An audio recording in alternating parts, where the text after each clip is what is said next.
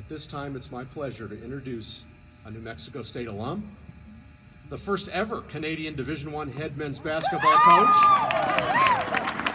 and the 25th head coach of our New Mexico State Aggies, Coach Paul Weir.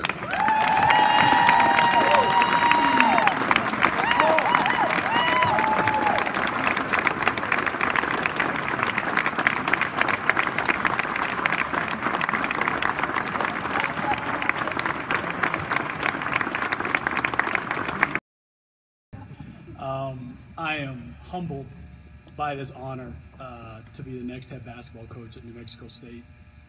Um,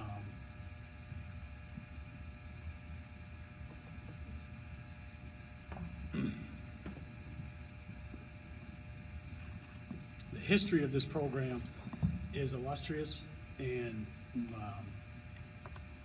um, it is now my duty to protect to protect that legacy.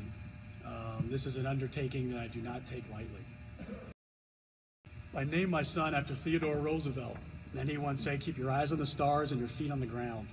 And we're going to have our eyes on 1970, and we're going to do it with a humble, aggressive, passionate work ethic and an underdog mentality that you've never seen before. We're going to attack every day with a sense of urgency and passion to be the best we can be. Lou Henson has been a mentor to me since I first arrived here. I think we all know Lou and Mary are just the most amazing people on the planet. And uh, to have their blessing just makes this feel all the more complete to me.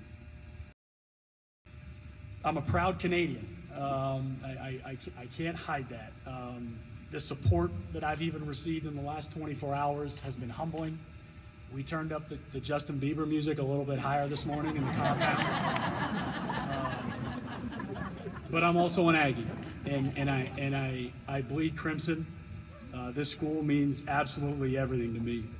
You have my word that I will make us all proud.